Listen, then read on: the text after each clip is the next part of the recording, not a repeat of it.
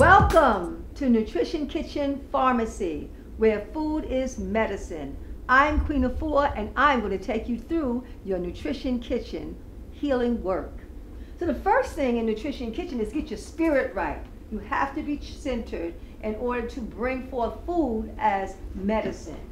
So what I have before you is a City of Wellness healing prayer, which you, as you read the books and you listen to the tapes and you get this uh, production that we put together for you, you will begin to put into practice your daily prayers before coming into the kitchen work.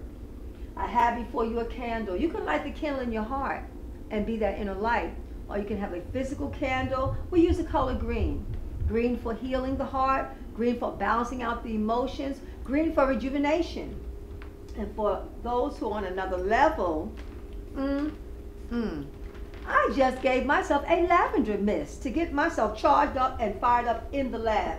Now, setting up your Nutrition Kitchen lab, you may create your own sign to actually say it may be your family's name as your Nutrition Kitchen Pharmacy. What I have here is the City of Wellness Nutrition Kitchen Green Life Pharmacy to give you some ideas and concepts so you can truly own your kitchen. In Nutrition Kitchen, you have to have the knowledge, you have to have the recipes, Inside of the City of Wellness, this is one of the books I've written just for you. There's over 250 recipes.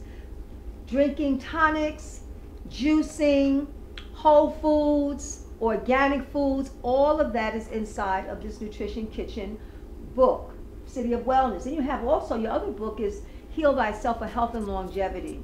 This Heal Thyself for Health and Longevity is all about healthy lifestyle.